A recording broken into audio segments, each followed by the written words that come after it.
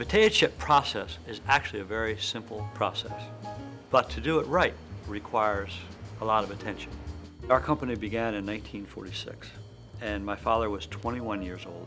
He started making chips by hand, and he would work all day, and he said it was a greasy, hot, you know, uh, labor-intensive operation, but then he would go and pick my mother up and they would do what he loved. They would sell potato chips. They would go door to door, and Dad just loved taking these great potato chips, you know, that he, he made all that and, and sell them to people and make them happy. Potato chips make up about 55% of our business. The thing that's different and interesting about a potato chip potato is that it's not a potato like this. It's not, it's not oblong.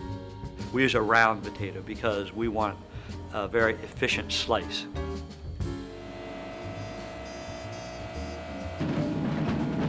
So we take these potatoes, we bring them into our storage bins, and then we flume them, we put them in water, flume them over to a big, huge peeler, and they're flumed upstairs into the cooking area, and there they are bounced off the edges of these razor blades, and then that's what makes the slices.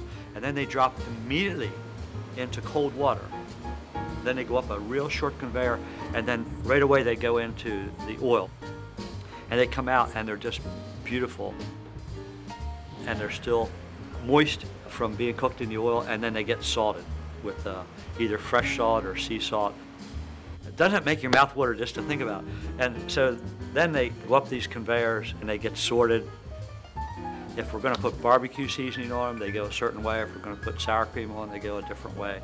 And then eventually they find themselves into these huge packing machines and the bag is formed, sealed. So from the time they're cooked to the time they're in the bag is only, you know, a minute or two. It sounds simple, but it's a lot of precision.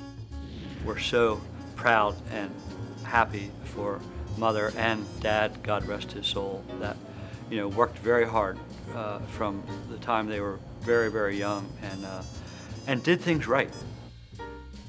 And we're blessed with a great reputation in the community, and you know, we don't take that lightly. We want to work hard.